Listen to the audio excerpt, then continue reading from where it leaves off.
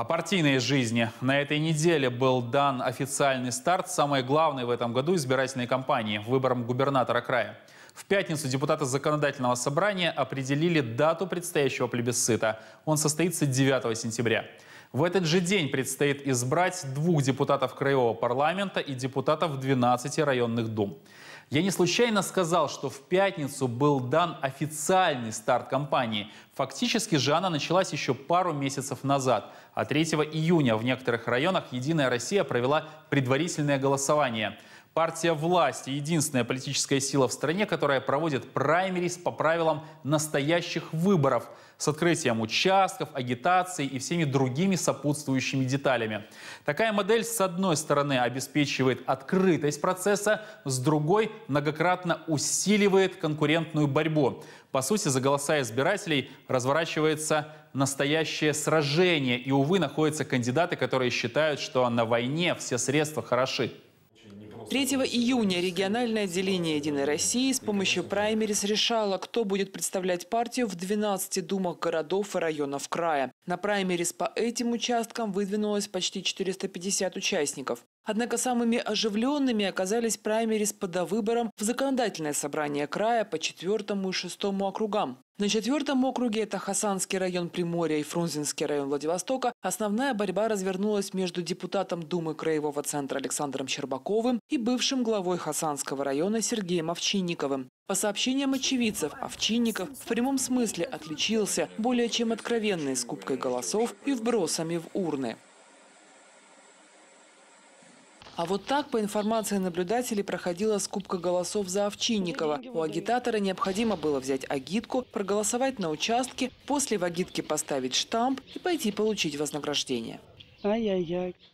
Несмотря на попытки вброса и подкупа, победу по четвертому округу одержал Александр Щербаков. Он набрал в два раза больше голосов, чем Сергей Овчинников. По шестому округу, это город Уссурийск, также не обошлось без жалоб, но в конечном итоге там победу одержала Юлия Марченко, директор сети Fresh25. Она также в два раза по количеству голосов обошла Александра Сидоренко, председателя общественной палаты Уссурийска и главу крестьянского хозяйства «Нива».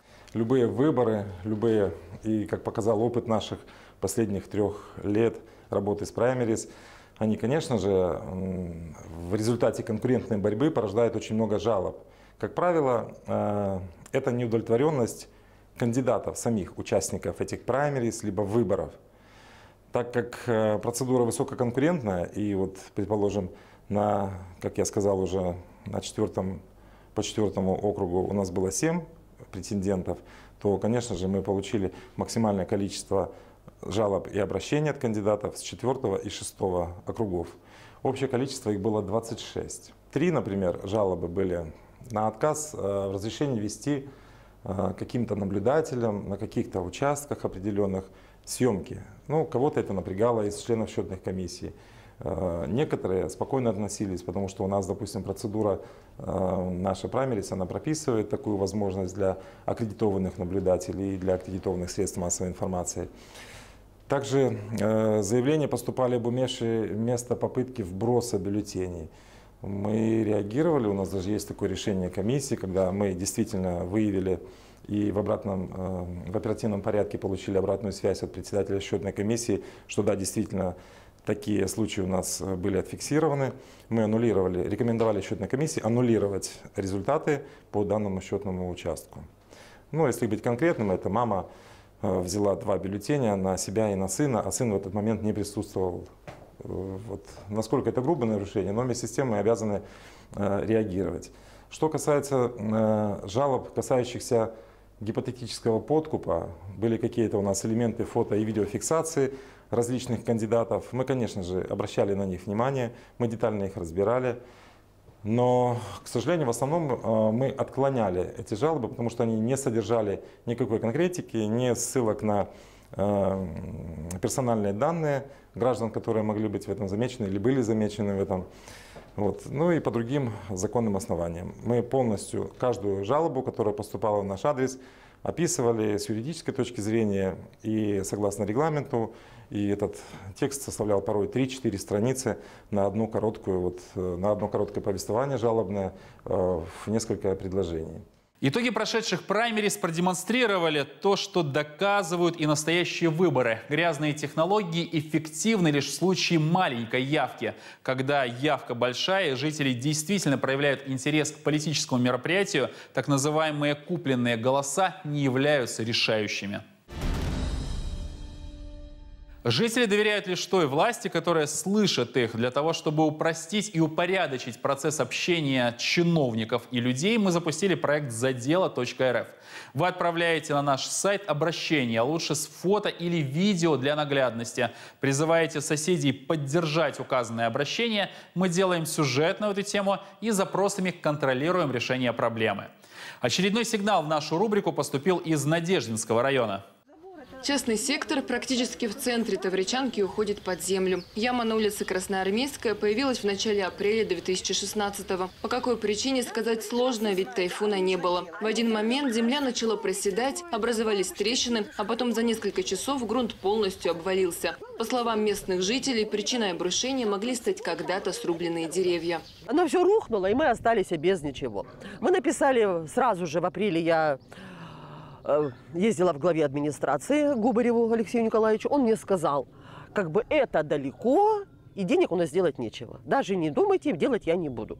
Уже два года жители улицы Красноармейская пытаются добиться от местных властей ремонта дороги. Яма нетипичная, около 5 метров в ширину, 15 в длину и больше 10 в глубину. Под угрозой обрушения один из домов. Грунт продолжает осыпаться и трещина идет прямо к основанию здания. Вокруг дома вокруг дома находится лес с трех сторон. Это пожары не проедет. Скорая не проедет. В этом доме, в 35-м, живут два старика. 78 лет и 83. Если, не дай бог, скорая... Воду они как нет? Воду носим так, э, бидонами, бидончиками привозим, продукты привозим. Бабушка вот переходит там по этому 20 сантиметров, может упасть. Просто страшно. Скорая, как скорая может подойти? Да никак. Ну, до моего-то они доезжают вот сюда, а к ним никак. Газ тоже платят они, мужики носят им. Я говорю, ну если вот сгорит, вот загорится что-то, что вы будете делать? Вы же в тюрьму пойдете все. Вот. Бесполезно, никто ничего, никуда ничего. У нас нет денег, нет возможности.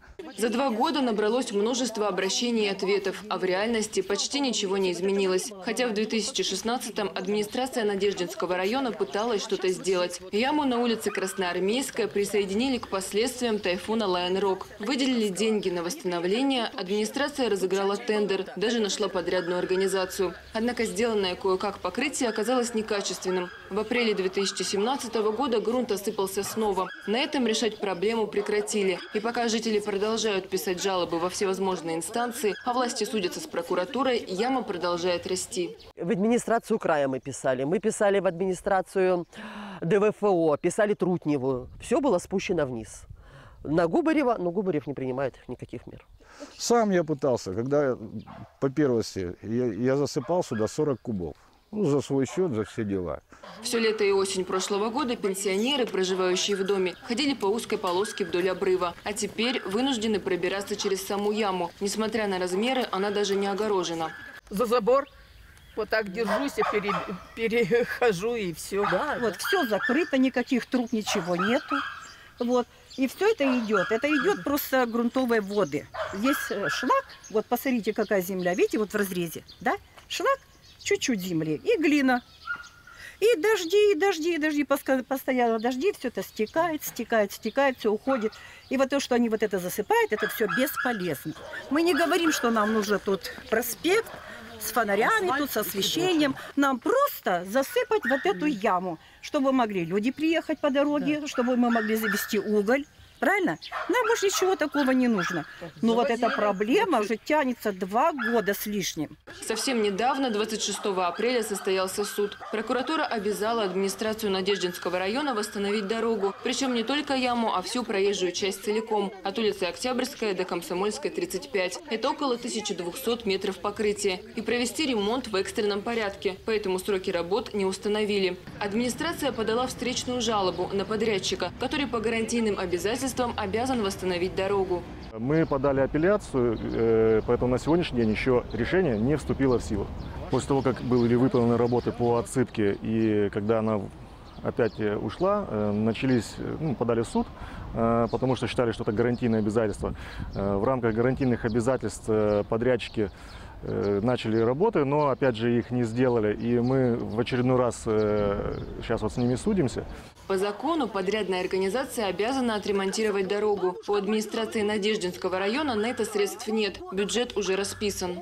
Пока у нас есть, как мы считаем, э, виновник этой ситуации, мы не можем э, там ничего делать, потому что мы привлекали людей для, для, гаранти... для исполнения гарантийных обязательств. Ну, к сожалению, э, такая вот у нас юридическая сторона. На прошлой неделе начали работы по отсыпке.